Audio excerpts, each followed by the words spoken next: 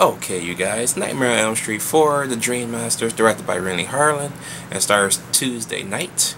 Yes, what type of name is that for a kid? What, what parents name their kid Tuesday Knight?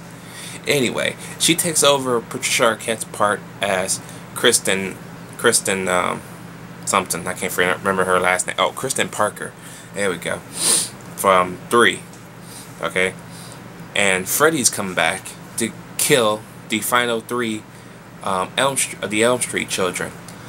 He can't get to the new uh, breed of Elm Street children unless they are passed passed passed on through somebody else.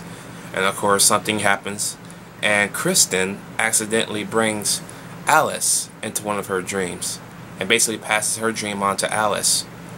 And then, so she gives Alice her powers and if you've seen the film, you know what I'm talking about by powers, okay? So now Alice has the ability to bring everybody else into her dream. And now we have a new breed of killing, okay? Now, this film is without a doubt the third best film in the series. I mean, one, three, and four. Can we get it? Can the whole series? It'll been awesome the whole series was just fucking awesome. Okay, but it's not that. It's not gonna be that true. But yeah, the third best one, oh my god, we're on a roll here, people. I mean, damn. I think it's pretty good in here. I mean, I liked it. I finally know who sings my favorite song anytime, anything, anything. So that's pretty cool. I didn't even know that was an 80s song. I thought that was like something from 2008 or so. It didn't even sound old. so, yeah.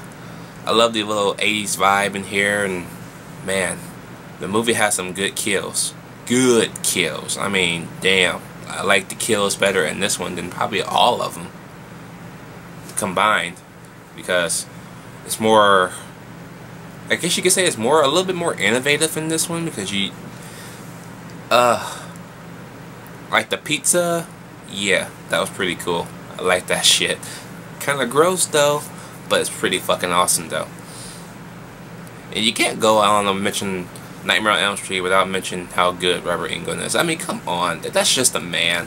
Just a fucking man. Okay? Man, look. I'm not going to sugarcoat this review. Okay? I'm going to say how I feel. How I feel this movie should get. Okay?